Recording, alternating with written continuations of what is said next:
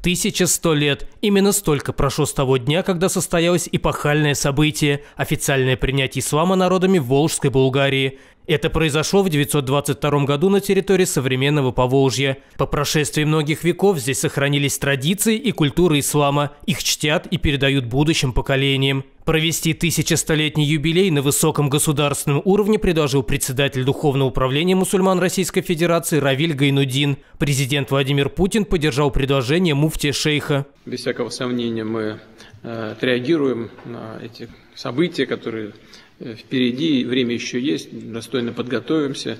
Вместе с вами пообсуждаем, пообсуждаем, э, что конкретно, в какие сроки нужно будет сделать, какие мероприятия провести сделаем это достойно, как мы умеем это делать на хорошем государственном уровне. Спасибо вам.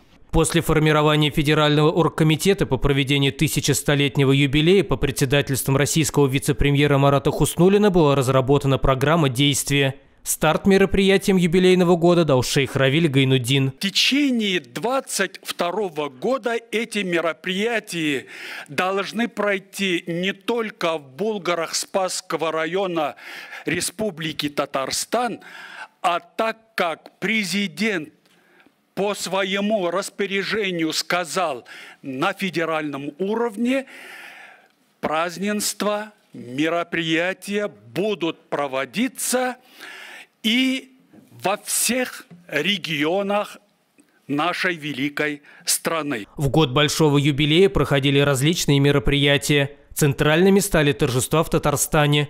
В мае состоялась установка памятного камня в ознаменовании начала строительства комплекса соборной мечети Казани. Ее возведение приурочено к тысячестолетию официального принятия ислама народами Волжской Булгарии. Мечеть сможет вместить 10 тысяч человек.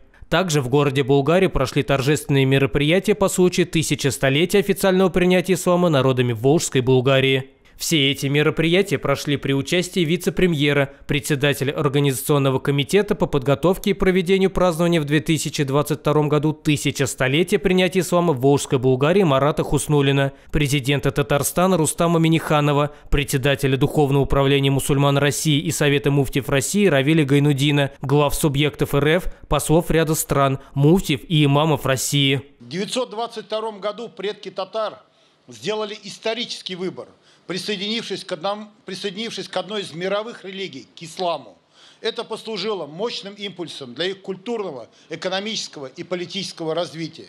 Президент страны Владимир Владимирович Путин не раз отмечал, что мусульмане России всегда с уважением относятся к традициям и обычаям предков – сохраняет твердую приверженность высоким идеалам патриотизма и справедливости. В различных российских регионах также отметили юбилей. В Пензе состоялся всероссийский симпозиум на тему «Исторические предпосылки и основные этапы вхождения татар в орбиту исламской цивилизации». Участниками высокого собрания были ученые, общественные и религиозные деятели из регионов Поволжья, Москвы, а также из-за рубежа. Один из первых оргкомитетов по проведению тысячестолетнего юбилея был сформирован в Саратове. В него вошли представители региональной власти, известные ученые и общественники, бизнесмены и деятели культуры, культурно-просветительские форумы, научно-практические конференции, конкурсы чтецов Корана и спортивные турниры. Все они проводились в Саратовской области в рамках тысячестолетия официального принятия ислама народами Волжской Булгарии. Мы, саратовские мусульмане,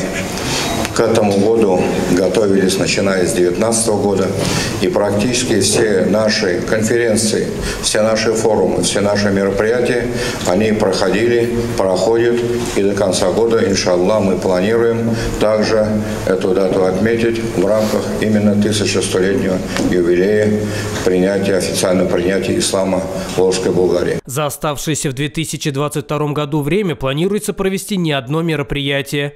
В рамках юбилея будут открыты мечети, пройдут научные конференции, просветительские поездки по историческим местам и многое другое. Все они несут одну цель и призваны напомнить, что тысяча столетий официального принятия ислама народами Волжской Булгарии – это особая веха в истории нашей страны. И 1100 лет мы сохранили эти духовные, наши нравственные, моральные ценности, семейные ценности.